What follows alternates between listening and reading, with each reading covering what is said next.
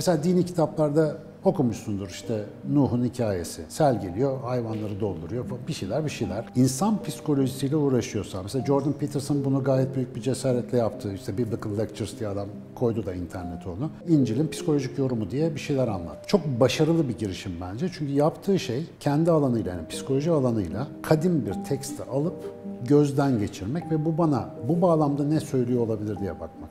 Şimdi ben Nuh hikayesini okuduğumda yani şu soruyu sormak bana tuhaf geliyor. O kadar hayvan gemiye nasıl sığar? Geminin kaç metreküp olması lazım? Oradaki geminin gemi, oradaki suyun su, oradaki hayvanın hayvan olmadığını fark ediyorsun hikayeyi okuduğun zaman. Mesela günümüzün toplum psikolojisini ele al.